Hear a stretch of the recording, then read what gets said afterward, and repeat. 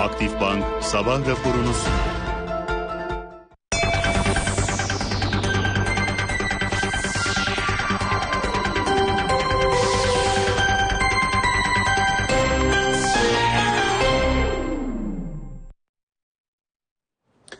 Sabah raporuna hepiniz hoş geldiniz. Ben Açıl Sezen, Gökhan Şen ve Cüneyt Başaran'la birlikte piyasalardaki gelişmeler üzerine sohbet edeceğiz. İyi sabahlar arkadaşlar. Aynen. Aynen. Dünün önemli tartışma maddesi zam meselesiydi. Özellikle BOTAŞ'tan doğalgaz santrallerine yapılan zam, bunun elektrik ve doğalgaz fiyatları üzerine yansıması hem sanayici tarafında hem meskenlerdeki fiyatlamaları artırdı. Bunun da enflasyon yansımasını izliyoruz, takip ediyoruz. Bu önemli gündem maddelerinden bir tanesi. Diğer taraftan enflasyon raporu toplantısını izledik. Ee, Sayın Murat Çetinkaya'nın açıklamalarını takip ettik. Burada verilmiş olan önemli mesajlar var. Dolayısıyla bir miktar bunların da üzerine durmaya çalışacağız. Diğer taraftan yurt dışına baktığımızda özellikle ticaret savaşları üzerinden verilen mesajların yeniden ön planda olduğunu, Amerika Birleşik Devletleri'nin 200 milyar dolarlık daha üründe yaklaşık 6 bin kalemden oluşan e, Çin ürünlerine tarifeyi %10'dan %25'e çıkarma yönünde bir hazırlık yaptığına dair haberler sızdırılıyor. Dolayısıyla bir taraftan bunları bir yandan da Çin'in buna vereceği cevapları takip ediyoruz. Avrupa tarafından gelen enflasyon verileri var. Oldukça kuvvetli gibi görünüyor. Ee, özellikle Fransa başta olmak üzere enerji ve gıda üzerinden Avrupa enflasyonu yukarıya gitmeyi sürdürüyor. Bununla birlikte yine e, özellikle petrol tarafına da baktığımızda yine 2016'dan bu yana en kötü aylık performansını göstererek Temmuz ayını tamamlayan bir Brent petrolden bahsediyoruz. E, bir de aynı zamanda gelişen ülke piyasalarına ilişkin bakış açısı var. Hem tahviller tarafında hem de hisse senetleri tarafında bir miktar daha ön plana çıkartılan unsurlar söz konusu. Bunlara bakacağız, değerlendirmeye çalışacağız. İsterseniz önce zamlarla başlayalım, bir düne dönelim. Özellikle bu konudaki gelişmeleri içeren bandımızı izleyelim. Sonrasında üzerine değerlendirme yapmaya çalışalım. Enerji Piyasası Düzenleme Kurumu elektrik fiyatlarına kilowatt saat başına %9 ile %14 zam yaptı. Buna göre vergi ve fonlar dahil perakende elektrik satış tarifelerinde enerji maliyetlerinde gerçekleşen artışlar sebebiyle meskenler için %9, diğer tüketiciler içinse %14 artışa gidildi. Elektrik fiyatlarına en son 1 Nisan'da %2,89 zam yapılmıştı. BOTAŞ'ta doğalgaz fiyatına konutlarda %9, sanayide %14 zam yapıldığını bildirdi. Buna göre konutlara ve küçük ve orta ölçekli işletmelere uygulanan doğalgaz fiyatına %9, yıllık tüketim miktarı 300 bin metreküpün üzerinde olan serbest tüketicilere uygulanan fiyata ise %14 zam yapıldı. Şirket ayrıca elektrik üretim amaçlı doğalgaz kullanan serbest tüketicilere doğalgaz satış fiyatının 1000 metreküp için 270 dolar olarak uygulanacağını ve güncel döviz kuru üzerinden Türk lirası olarak faturalandırılacağını bildirdi. Şirketten yapılan açıklamada yaklaşık 44 aydır doğalgaz satış fiyatlarında herhangi bir artış yapılmadığı ve Ekim 2016'da yaklaşık %10 indirim uygulandığı bildirildi. BOTAŞ açıklamasında ham petrol fiyatlarında ve döviz kurundaki yükselişe bağlı olarak doğalgaz alım maliyetlerinde önemli oranda artışlar meydana geldiğini vurguladı. Şimdi tablo böyle. Tabii 3 yıldan bu yana e, zam görmeyen bir alan. Dolayısıyla birikmiş zamlar e, acaba bu seneye yedirilmeli mi yoksa önümüzdeki seneye mi bırakılmalı diye tartışma e, dün sabah burada sabah raporu içerisinde yapmıştık. Dolayısıyla o birikmiş zamların ufak ufak gelme hatta ufak ufak sayılmaz pek e, biraz yüklü yüklü gelme eğiliminde olduğunu görüyoruz. Tabii önce iş BOTAŞ'ın yapmış olduğu zamdan kaynaklandı. Arkasından e, doğalgaz ve elektrik fiyatlarına da bunun yansıması var. E, meskenlerde %9, ticari ticarethanelerde %14 olmak üzere hem elektriğe hem doğalgaza ekstra bir e, fiyat artışı getirildi. Böylelikle bunların enflasyon üzerindeki etkisinin katkısının da kabaca 0.4 puan olarak hesaplandığını görüyoruz. İkisinin toplam enflasyon sepeti içerisindeki payı %3.85. Ee, yani çok uzun bir konu açıkçası. Bu masadaki herkesin de çok aşina olmadığı bir konu tüm detaylarına. Ee, dün biraz çalıştık. Elden geldiğince anlatmaya çalışalım. Bu arada tabii bu %50 ee, zammı yani justify etme, işte arkasındaki rasyoneli makul çıkarma konuşması değil. Ama böyle bir dinamik var. Kararınızı siz verin konuşması. Her şeyden önce bir kalemde %50 zam diye bir şey olmaz yani olmamalı. Burada yanlış olan şey yıllar boyunca bu zamların yapılmamış olması. Ki bundan en çok zarar görecek vatandaşlar olarak yani vatandaşlardan biri olarak söylüyorum. E, çünkü bir anda %50 gelmesi hakikaten çok sert. Tabi bunun yansıması bu kadar değil. Sen de söylediğin %9 ve 14 ama yine de bu hakikaten çok yüklü bir rakam. Ee, çok kısaca konuşmaya çalışalım. Şimdi tabii yurt dışından gazı ithal etme yetkisi e, BOTAŞ'ta ve birkaç tane özel kuruluşta. E, fakat tabii BOTAŞ öyle bir fiyattan veriyor ki piyasada e, bildiğimiz şartlarla normal ve doğru fiyat oluşmasını aslına bakarsan engelliyor. Yani sübvanse ediyor. Kendi bir şekilde artık işte görev zararı mı dersin nasıl dersin bunu yapıyor. Tabii bu arada petrol fiyatları ve dolar fiyatı da uçtu. Ee, yani geçen sene 50 dolar, ondan önce 30 dolardı Brent petrol. Ee, bu doğalgazın fiyatı hesaplanırken içerisinde petrol fiyatı da giriyor formüle. Dolayısıyla ne kadar yüksek petrol, normal şartlarda o kadar yüksek gaz fiyatı diye düşünebilirsin. Ee, bir yandan 2 sene önce döviz de tam bunun yarısıydı. Yani dolar bugün kabaca 5 ise 2,5'tu. Ee, Dolayısıyla burada da bir maliyet artışı var. Çünkü sana dolarla satıyorlar. Yani yurt dışından ben bunu petrol ve dolar üzerinden alıp burada TL üzerinden veriyor gibiyim BOTAŞ olarak. O yüzden de petrol fiyatları ve döviz yukarı gidince benim de fiyatları doğal olarak yukarı çekmem gerekiyor. Fakat vatandaşa ve işletmelere yansımasın diye ben fiyatı sübvanse ediyorum. 10 vereceğim yerde 9'a 8'e 7'ye veriyorum. Kendim zarar edip yola devam ediyorum. Şimdi tabi BOTAŞ artık herhalde böyle devam etmemeye karar verdi. Çünkü kabaca bu gazı alan e, çevrim santralleri de e, ki bugün Türkiye'de üretilen elektriğin kabaca %50'sini hatta biraz daha fazlasını bu santrallerin ürettiğini bana dün e, işte profesyoneller söylediler. Bu aldıkları gazla bunu çevirip elektrik yapıyorlar. Sana bana satıyorlar. Ondan sonra bu EPİAŞ'a geliyor piyasaya. Burada biliyorsun spot piyasada artık fiyatlar belirleniyor. Ve elektriği gazla üretmeyenlerin fiyatları üretimde geliyor. Piyasada buluşuyor. Bir fiyat oluşuyor. Ondan sonra da dağıtılıyor ve dağıtım santrallerine gidiyor. Dağıtım şirketlerine gidiyor. Bu dağıtım şirketleri de sana bana evime işte sanayiye neyse e, bu şeyi veriyorlar. Elektriği veriyorlar.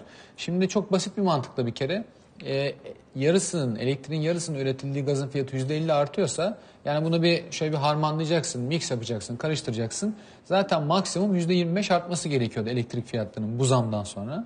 Fakat e, bunun tabii kararını tam olarak şeyler vermiyor. Bu şirketler vermiyorlar. Burada bazı kepler var yani üst limitler. Ben üst limiti artırmadıkça piyasada oluşan bu fiyatlar istediği maliyetle gelsin, nereden gelirse gelsin buraya varamıyor. O yüzden de bunun fiyatını EPDK yani dün alınan kararlarla EPDK aslında belirlemiş oluyor. Burada sen de söylediğin %9 ve 14 oranlarında bize perakende ve 14 sanayi işletmelere zam yapılacak. Ee, burada birkaç tane konu var. Çok hızlı hızlı yine onları da söylemeye çalışayım. Peki şimdi BOTAŞ'tan zararı aldık ya e, gereken kadar zam yapmıyorsak aslında bu zarar kime yansıyor diye. Şimdi bu mixte yani bu karışımda tabii ki gazla üretmeyenler de var. E, dolayısıyla bir kere bunlar bundan faydalanacaklar bu bir. İkincisi de buradaki zarar nereye gider diye baktığında benim konuştuğum kişiler büyük ihtimalle Enerji Bakanlığı'na bağlı örneğin hidroelektrik santralleri e, bunlar bu zararın bir kısmını alacak diyorlar ama bunu tam bir zarar olarak da görmüyorlar. Niye? Çünkü bunlar daha önce yatırımı yapılmış finansmanı tamamlamış, amortisi bitmiş yani kendini çoktan finanse etmiş. Zaten suyla çalışan örneğin ve zarar filan da etmeyen artık kurumlar. Dolayısıyla buralardan bu dağıtım santrallerine daha ucuz fiyattan elektrik verilir. Ee, kalan yüksek fiyatla karıştırılır ve dolayısıyla bu dağıtım santralleri daha fazla zarar etmez diyorlar e, piyasa profesyonelleri, enerji piyasası profesyonelleri. O yüzden anladığım kadarıyla zarar BOTAŞ'tan alınıp zarar ettiği düşünülmeyen ama daha az karlı çalışacak bundan sonra bu santrallara aktarılacak. Hikayesi bu. E, bunun birkaç tane yansıması var hızlı hızlı. Eylül ayında EPH'da yine gaz kontratlarının da gelmesi yani gazın da piyasa fiyatında belirlenmesi düşünülüyordu. Fakat BOTAŞ böyle sübvanse ettiği sürece burada hiçbir zaman bir piyasa oluşamayacaktı. İkincisi bu üreticiler ve dağıtıcıların marjları çok kötü durumdaydı. Üçüncüsü özellikle yine dolarla alan fakat zam yapamayan, gazla çevirmeyen santraller için de durum çok kötüydü. Şimdi onlar bundan en çok faydalanacak olanlar. Dolayısıyla herkesin marjları bir parça toparlayacak. Yani 60 milyar dolarlık enerji kredileri ne olacak diyordu ki onun bir kısmı için bu iyi haber. Ama tamamen tabii ki sübvansiyon bitti diyemeyiz. Yani tamamen de hala piyasa çok liberal hale gelmedi. Ama önemli yolda bir adım. E, dün bir konuşma geçti. Acaba bu BOTAŞ'ı temizleyip özelleştirme halka arz için de e, bir başlangıç olabilir mi diye. Teoride olabilir ama pratikte olmadığını ben yani ilgili kişilerle konuşarak öğrendim. Burada onu söyleyebilirim. Yani herhangi bir özelleştirme ya da halka arz planının olmadığını söylediler. Onu söyleyebilirim. Ee, yine devam edeyim. Bunun yerli kömüre çok faydasının olacağı çünkü artık e, rekabetçi fiyatlar e, konusunda daha iyi teklifler verebileceği söyleniyor. Bu da bence önemli. Yani kabaca e, görüşler böyle ve yansımalar da böyle. Birkaç hızlı hızlı nokta yani etkileri üzerinden e, enerji üfesini mesela kontrol ettiğimde %35 civarında. E, bu zamlarla birlikte bunun daha da besleneceğini ve üfenin de %24 olduğunu belki hatırlatmakta fayda var. Bu bence önemli. Zaten enflasyon sepetindeki payını sen söyledin. Hem gaza hem elektriğe zam var. Büyük ihtimalle yarım puana yakın e, bu artacak. E, şirketler üzerine etkisi var. Bunu hızlıca geçeceğim. Başka bir konu çünkü işte çimento, e, ne bileyim Cam. cam, işte çelik vesaire gibi herkese bunun etkisi var. Bu bence önemli. Bir konuda Merkez Bankası'nın bundan haberi var mıydı konusu. Birazdan belki enflasyon raporunu tartışırken tartışırız. E, yani olduğunu e, raporun içerisinde e, görüyorum. Onu da söyleyebilirim. Dolayısıyla benim anlatacaklarım kabaca böyle. Buyurun Cüneyt Bey. Şimdi tabii e, işin bir sürü sorusu var. Yani BOTAŞ'ın neden bu zamana kadar e, dolar cinsinden almış olduğu maliyetleri TL cinsinden içeriye e, verdiği ya da hatta nasıl aslında doğalgaz, e, petrol fiyatları ve kur yükselirken nasıl indirim yaptığı da aslında sorgulanması lazım. Niye böyle yapıldı, niye şimdi yapılıyor? Dolayısıyla o zamandan bu zamana ne değişti ki e, şimdi artık bu formül uygulanamıyor. A şıkkı diyebilirsin ki kur çok yükseldi. B şıkkı diyebilirsin ki BOTAŞ'ın artık bilançosunun almış olduğu e, tahribat diyelim e, bunu daha fazla kaldıracak noktada değil. E, C şıkkı işte demin Gökhan almış bazı kaynaklardan belki doğrudur. Ama hani BOTAŞ'la ilgili ileride başka bir değerlendirme yapılabilir. Diyormuş ki kaynaklar böyle bir şey yok. İleride olabilir ama kesinlikle ondan dolayı yapılmıyor. Tamam ondan dolayı yapılmadığını biz de kabul edelim ama hani neden bugün bu e, şeye gerek duyulduğu konusunu bir kez düşünmek lazım.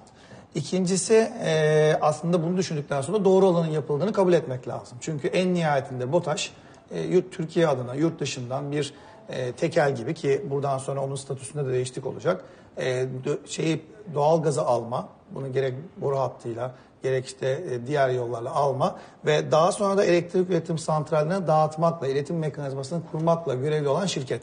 Eğer bu şirket yurt dışında dolarla ve petrol fiyatına bağlı olarak yani Brent petrol neredeyse formüle girdiğinde onun etkileyeceği ve dolar neredeyse onun etkileyeceği bir formülle alıyor ise bunu da içeride satarken e, e, nasıl ki biz akaryakıt fiyatlarına işte akaryakıt pompa fiyatlarına otomatik bir formüle belli, belli, e, ekleyebildiysek bu şekilde satması kadar normal bir şey değil. Yok yani bence o yüzden şu an yapılan uygulama aslında maliyetin çok belliyken ve maliyetini belirleyen unsurlar yani özel anlaşmalarla bir %10-15 aşağı alabilirsin ya da zaman zaman petrol fiyatı ani çıkışlar olur. Sen bunu bir süre sübvanse edersin, sineye çekersin dersin ki birkaç ay sonra biz bunu bekliyoruz düşünün falan. Onu anlayabilirim ama çok uzunca bir süre zaten maliyetin dolarla ve petrol fiyatına bağlıyken niye bu matematiği gerçekleştirdin sorusu ama bugün yapılanın da doğru olduğu. Çünkü aslında onu buradan buraya yansıtılması gereken konusu var. Ee, bir diğer konu da tabii ki teoride e, özellikle işte yenilebilir enerji ve e, biraz önce bahsetmiş olduğu barajlardan gelen e, barajlardan çıkartılan elektrik e, enerjisiyle e, bu, bunun bir miktarının doğal gazdan gelen e, zammın daha az doğal gaz üretiminden çıkan elektriği kullanmak yerine onlara gitme ihtimali var. Ama gerçekçi olmak gerekirse Türkiye'nin tamamında böyle bir imkan yok. E, çünkü daha oturmuş yerlerde örnek İstanbul'un işte Avrupa yakası, İstanbul'un Anadolu yakası gibi yo çoğu yoğunluğun yüksek olduğu yerlerde bugünden yarına ben şimdi doğal gazdan gelen bu şeyi düşüreyim biraz, payı düşüreyim. O yüzden de hemen işte buradan yenilebilir enerjiden aldığım miktarı artırayım ya da işte hidroelektrik santrallerden aldığım e- miktarı arttırabileyim şeklinde bir kısa vadede bugünden yarına bir e, düzenlemenin yapılması çok mümkün değil ama teoride haklı Gökhan. E, bu aslında en nihayetinde Türkiye'nin gene eğrisi doğrusuna denk gelecek. Türkiye'nin çok uzun süreden beri yapmaya çalıştığı doğal gaza bağlı elektrik üretimi ki o da zaten tamamıyla birkaç ülkeye bağlı gidiyor. Doğal gaza bağlı elektrik üretiminden ve tüketiminden doğal gaz dışındaki bir yerli kömür çok önemli. İki işte yenilebilir enerji önemli ve gene hidroelektrik santral önemli. Bunlar bunların devreye girebileceği ya da bunlara olan önemin artıracağı bir noktaya geliyoruz. Buna da katılıyorum. Yani teoride aslında bunların artık öneminin daha fazla artacağını ama pratikte bugünden yarına bu shift'in diyelim ya da bu hareketin kolay olmadığını düşünüyorum. Ee, ve en nihayetinde de bir kez daha gördük ki aslında e, bu bizim sorunumuz değil. Yani biz bunu işte yerli parayla aldık alamadık sorunu değil. Ee, biz aldığımız e, doğal gazı aldığımız ülkede onların parasıyla ödemeyi kabul etsek dahi e, en nihayetinde bu işin matematiği dünyadaki matematiği Brent petrol dolarla fiyatlanan Brent petrol ve aynı zamanda dolar kuruna bağlı olduğu için ve aslında dünyada hala çok büyük oranda geçer akçenin ticarette dolar olmasından kaynaklanan diyelim ki maalesef diyelim bu sistemin hala değişmemiş olmasından dolayı görüyoruz ki en nihayetinde ikili ilişkiler önemli. Zaman zaman burada alınabilen indirimler, zaman zaman burada alınan e, bir takım ayrıcalıklar çok önemli. Bence Türkiye bu arada iyi işler de yaptı. Yavaş yavaş zaman içerisinde fiyat indirmek konusunda. Ama dövizde bir ülke var. Türkiye Türk Lirası, Rusya ruble, işte Azerbaycan manat ama en nihayetinde bunun yine sadece bu üç para birimine bağlı bir konjonktürle gidemediği ve maalesef yani aslında hiçbirimizin dolarla alakası olmamasına rağmen yapmış olduğumuz ticarette bir noktada konunun hem Brent petro- petrole oradan çıkan formül olduğu için hem de dolara bağlı olduğunu görmüş oluyoruz. Sonuç itibariyle Türkiye'de enerji piyasası uzun süredir sübvanse edilen bir piyasaydı. E, Bundan hem e, belli ölçüde zararın BOTAŞ'ın üzerinde kalmasından dolayı artık bu fiyat artışıyla beraber BOTAŞ'ın rahatlayacağını hem de biraz önce Gökhan'ın da söylediği gibi enerji şirketleri üzerinden gelebilecek ekstra baskının da belli ölçüde hafifletilmesinin hedeflendiğini net olarak görüyoruz. Dolayısıyla hani evet şu an itibariyle gelen bu zammın e, hepimize etkisi, hepimize yansıması var. Hatta dün İstanbul Sanayi Odası Başkanı Erdal Bahçıvan'ın açıklaması da var. Elektrik çarpmışa döndük diye. Ama e, bu noktada tabii 3 senedir de buraya zam yapılmadığını atlamamak lazım. E, hani sonuç itibariyle rekabet açısından zorlayıcıdır. Girdi maliyetlerin artışı açısından önemlidir. Ama kur bu kadar artıyorsa dönüp bakmamız gereken yer buradaki fiyatlar neden artıyor değil, o fiyat artışına neden olan unsurlar neler onları ortadan kaldırmak lazım. E, dolayısıyla bir parça daha buraya Yani inmek biz gerekecek. benzer bir şeyi petrol fiyatıyla alakalı olan Türkiye'deki akaryakıt fiyatlarına bunu ilişkilendirdik. Ee, canımız yandı. Ee, netice itibariyle dolar kurundaki bir sıçrama ya da işte petrol fiyatlarındaki bir yükselmenin hop çok kısa süre içerisinde otomatik mekanizmayla pompa fiyatlarına yansıdığını gördük. Ama burada hiçbir yerde bir görev zararı birikmedi ya da sistem içerisinde bir yerde bir tıkanıklık olmadı. Burada mesela son dönemde ne yapıldı? İşte Eşel Mobil sistemiyle eğer baktın ki kur çok yüksek Baktın ki işte e, petrol fiyatı yükseliyor ve sen bunun geçişkenliğini hemen birebir yaptığında e, işte ekonomik sebeplerle ya da başka sebeplerle senin e, şeyine uymuyor, planlarına uymuyor. Ne yapıyorsun? İçerideki ÖTV'ni düşürerek bir süre başka bir yerden yani alacağın gelirden olmak pahasına fiyatı tutabiliyorsun bir yerde. Ama bu sistemin dışında başka bir takım e, yollarla bu fiyatı zaten e, baskılamanın da bir anlamı yoktu. Şu an geçilen konu aslında matematiksel olarak formüle girenlerle formüle çıkanların aynı denklemde oturtulmasından ibaret. Ama bir şeyin de altını çizeceğim. Bu konu aslında Enerji Bakanlığı'nın çok uzun süren beri uğraştığı ve Türkiye'nin doğal gaza bağımlı elektrik üretiminden diğer alanlara da yayabilmesi konusunda, elektrik üretimi konusunda oldukça e, faydalı e, bir motivasyon da olacaktır. Kısa vadede hepimiz negatif etkisini çek, çekmemize rağmen. Ben iki küçük şey ekleyeceğim. Bir tanesi zaten sen de açarken söyledin bence önemli. Yani sorunların bu yıla yedirilerek en azından hani bu arkadaş gitti e, yani ama ileriye bakacağız e, anlamında iyi bir motivasyon olduğunu düşünüyorum. Yanına diğer şeyler eklenirse. Yani bu kötü haberden böyle iyi bir şey çıkarabiliriz. E, son konuda e, BOTAŞ'ın bundan sonra e, dolarla bunu satacağı yönünde bir ibare var. Yalnız o dün bence yanlış anlaşıldı. Yani alacak şirketler gelip piyasadan doğrudan dolar almayacaklar ki bu haberin ardından dolar TL'nin de yukarı gittiğini gördük. E, buradaki doğru yanıt bunun dolara endeksli olarak satılacağı. Yani dolarla ödemeyecekler BOTAŞ'a. Dolar endeksi şeklinde gidip piyasadan Türk lirası alarak ödeyecekler. Böylece BOTAŞ bir de kalmıyor zararı yazmamış olacak. O madde onun içindi. Yani piyasaya ekstra döviz talebi gelmeyecek. Peki e, şimdi bir yandan tabii bütün bunları takip ediyoruz. Bir taraftan da enflasyon raporu toplantısını gördük dün. Sayın Çetinkaya'nın açıklamalarının içerisinde ön plana çıkan unsurlar var.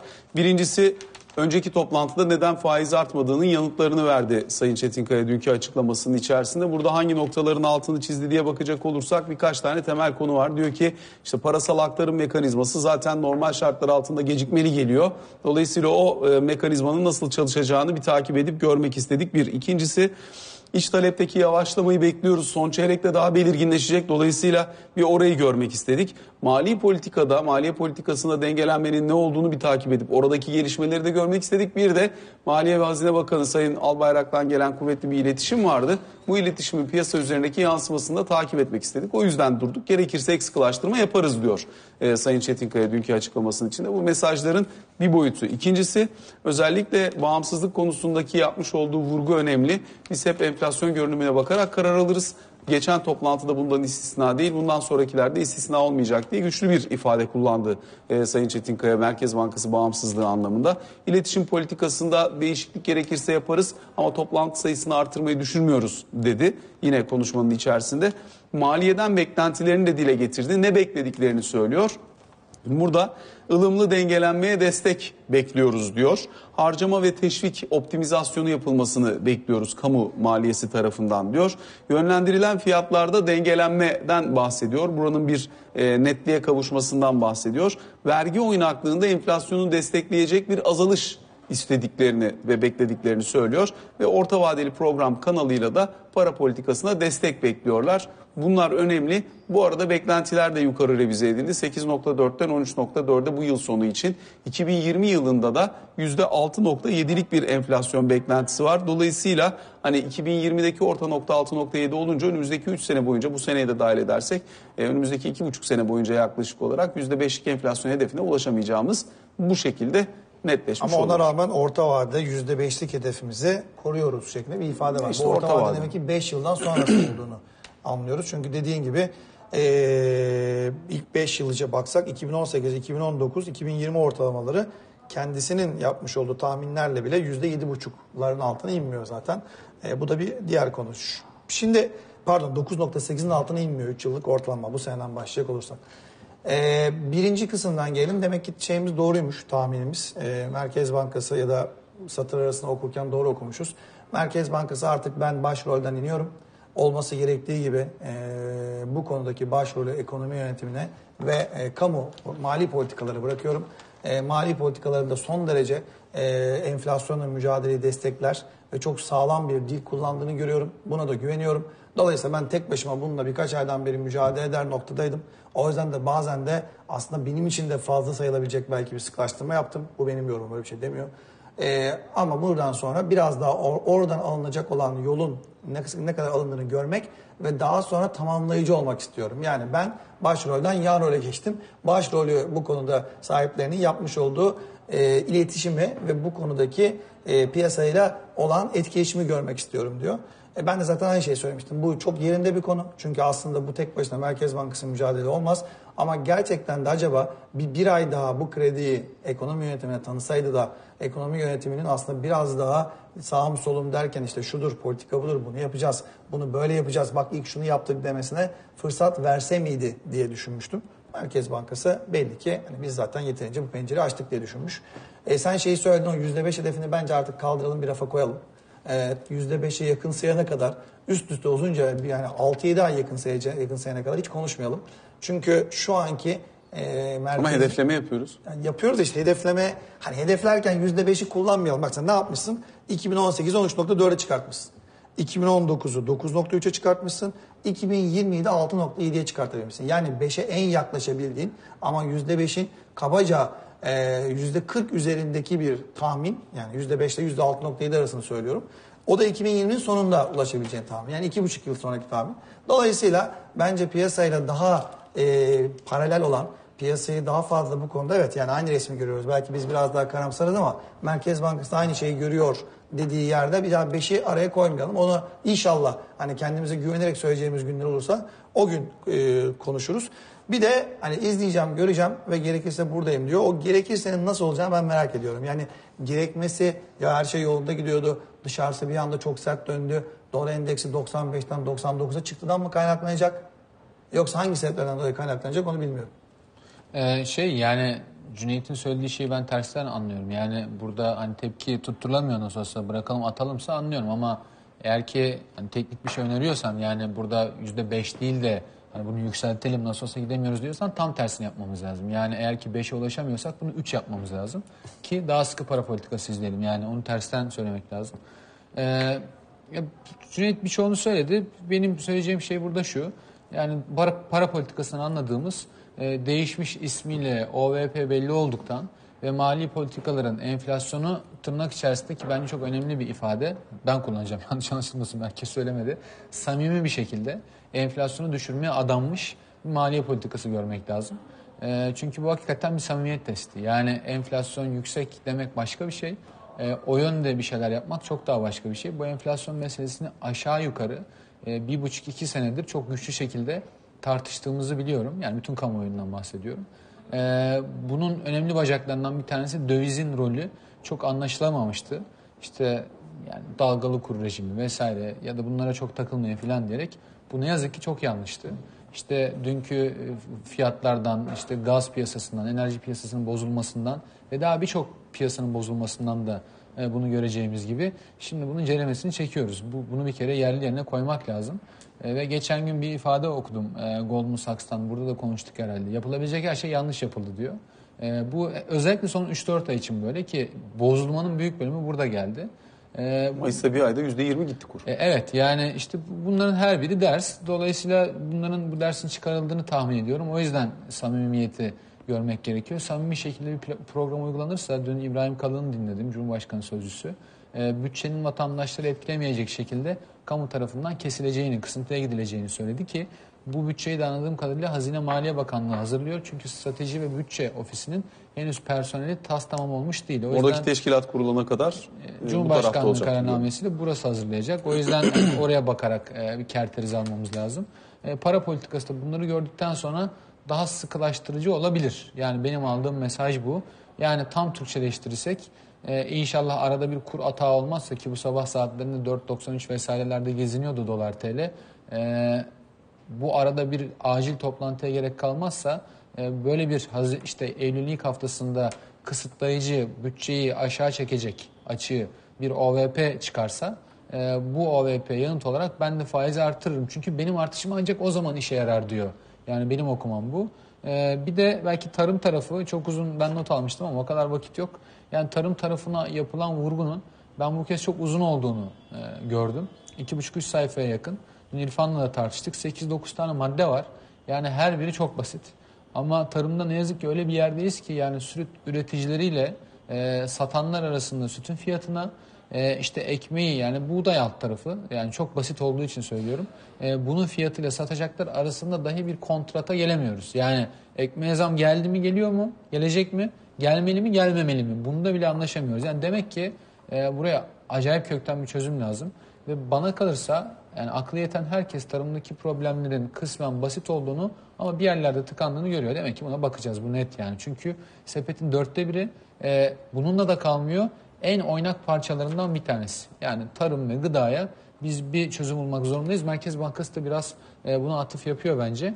E, o yüzden hani benim de söyleyeceklerim bu piyasa fiyatlaması açısından bakarsan e, ne yazık ki tek risk kurun yüksek olması faizlerin yüksek olması. Faiz çok yukarı kaydı. 18.81 oldu dün 10 yıllık tahvil faizi. 2 yıllık 20.78. E, kur şu anda 4.93.40. Yani dolayısıyla hani gerçekten çok yüksek yerlerdeyiz. Yani en büyük risk piyasanın şu an e, söz bitti, eylem vaktidir modunda bir süredir olması. Dolayısıyla dünkü açıklamalara yani fiyatlayacak bir şey bulamamış şekilde yaklaşması. Ve yine dünkü toplantıda yani enflasyon raporu toplantısında ki önemli olduğunu düşünüyorum. Yani böylesi bir zamanda katılımın da düşük olduğunu, ilginin düşük olduğunu da bence tekrar tekrar söylemek lazım. Bu da yani günün sonunda gelip yani evet aksiyon vesaire ne yapılacaksa yapılır ama Merkez Bankası'nın iletişim stratejisini yani toplantı sayısını değiştirmesi anlamında sadece söylemiyorum ama yani buralardan başlayarak kamuoyuyla yapacağı iletişim, mesajları verme biçimi e, ne mutlaka bence bakması gerekiyor.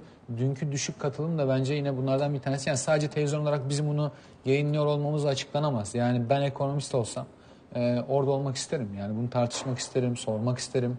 E, dün piyasadan gelen sorulara baktığında yanlış hatırlamıyorsam 3-4 taneydi ya da çok. Tane yani. geldi, Bir tane İngilizce birkaç tane Türkçe geldi. Hatta ilk soruyu Sayın Başkan istedi. İlk bir tane soru geldi. Ondan sonra üç soru arka arkaya alıyorlar toplantı şekli olarak. Onu da niye öyle yapıyorlar onu da bilmiyorum ama e, ilk soruyu aldı. Daha sonra iki tane soru gelmedi bari bunu cevaplayayım diyerek öyle başladı. Sonradan sorular gelmeye başladı. Basın sormaya başladıktan sonra diğer sorular geldi. Yani evet yani toplantının genel modu da yani toplantı yapalım, sunumu da yapalım. Siz de biraz sorun gidelim. Yani ben ben böyle anlıyorum. Vatandaş olarak bunu izleyen biri olarak yani tek bildiği iş bu olan hayatta biri olarak ben bunu böyle anlıyorum. Tahmin ediyorum diğer insanlar da bunu böyle anlıyorlar. Ee, yani durum bu benim gördüğüm kadarıyla. Peki kısa bir araya gidelim. Aranın ardından kaldığımız yerden devam edelim. Aktif Bank'ın sunduğu sabah raporu devam edecek. Aktif Bank'ın sunduğu sabah raporu devam ediyor.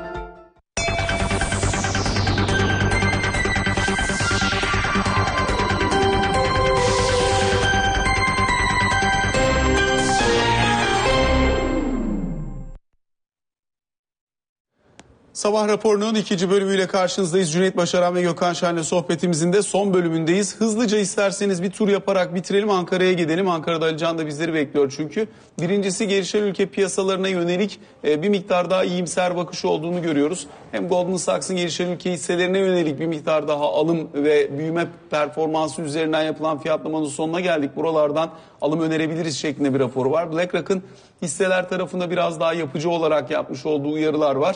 E, ama işte Türkiye gibi Brezilya gibi ülkeleri bir miktar daha kenara koymak lazım diyor. Ama BlackRock bunu söylerken öbür taraftan tahvil cephesinde de Türkiye tahvilleri konusundaki ağırlığını artırma yönünde bir hamle yapıyor döviz cinsinden Sen o haberi söyledin. Ben de şeyi söyleyeyim. Ee, yani başta ilan etmiş olduğunu aslında Trump'ın %10'luk ekstra vergiyi 200 milyar dolarlık mallarda %20 çıkarabileceği yönünde bir haber vardı ki daha dün Amerika Çin arka kapı diplomasisi yürütüyor diye de bir haber vardı. Ee, bence günün haberi bu. Yani eğer ki ki bugün açıklanabileceği söyleniyor. Ee, bu gelirse yarın başka bir şey konuşuyor oluruz. Herhalde gün içerisinde bunu takip etmekte fayda var.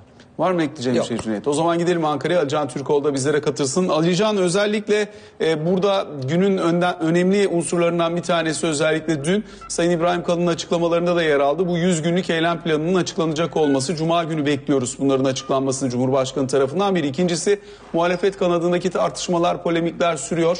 Cumhuriyet Halk Partisi'nin kendi içerisinde de tartışmaların şu anda biraz daha farklı boyutlara doğru gelmeye başladığını görüyoruz. Dolayısıyla oradaki son tablo nedir? Bir de İyi Parti konusunda herhalde artık çok fazla soru işareti kalmadı değil mi?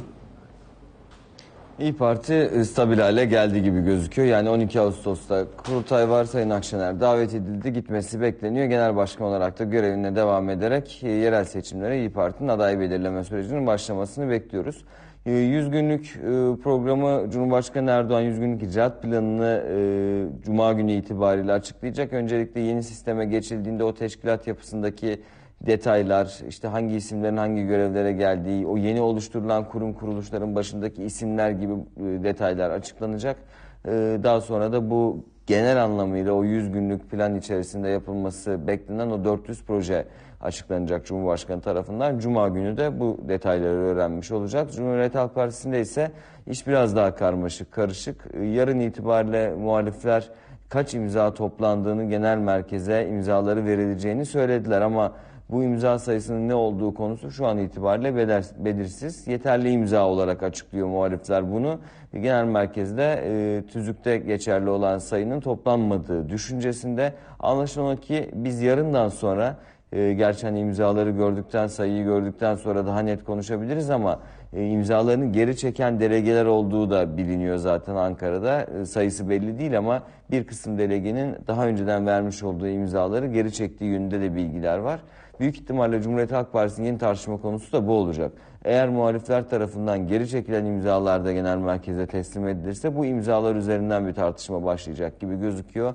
İşte çekilebilir miydi, çekilemez miydi? Genel merkeze verilmeden önce bu imzaların çekilmiş olması hukuken ne ifade ediyor? Hangisi geçerli gibi tartışmalar Cumhuriyet Halk Partisi'nin yarından itibarenki yeni tartışma konusu olabilir. Ama dediğim gibi bir imzaları ve sayıları görmek lazım. Onun üzerine daha net konuşulacaktır. Bir de Cumhuriyet Halk Partisi'nde e, farklı bir grup tarafından, güç tarafından mı yönetiliyor, başka yerlerde mi kararlar alınıyor gibi yeni bir tartışma başladı hatırlanacağı gibi.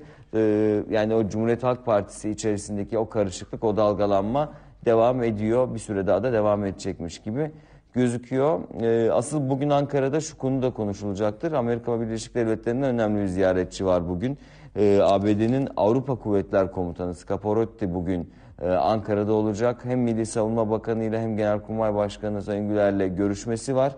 Gündem kritik, Münbiç konusu konuşulacak. Bilindiği gibi Türkiye ile Amerika Birleşik Devletleri arasında eşgüdümlü olarak e, yürüyen bir süreç var şu anda Münbiç'te.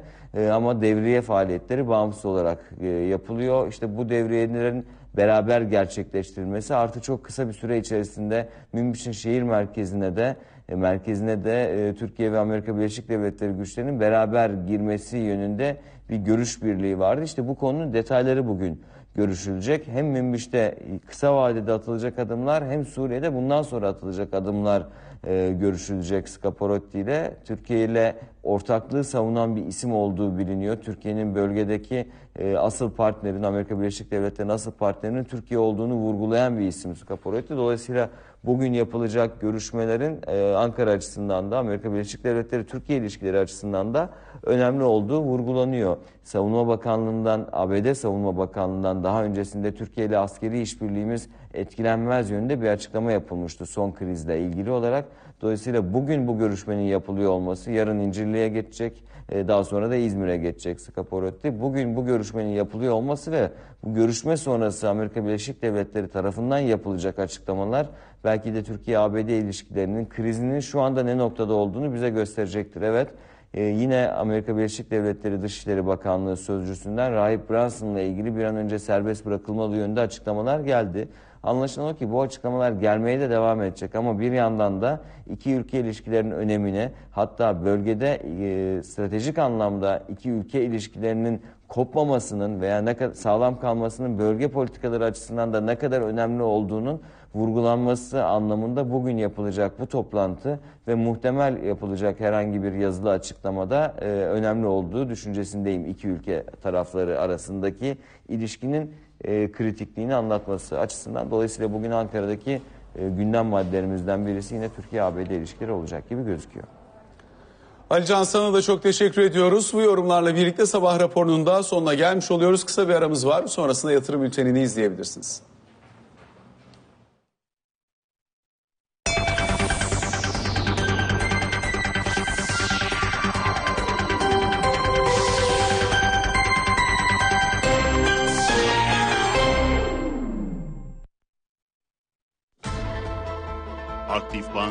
Sabah raporunu sundu.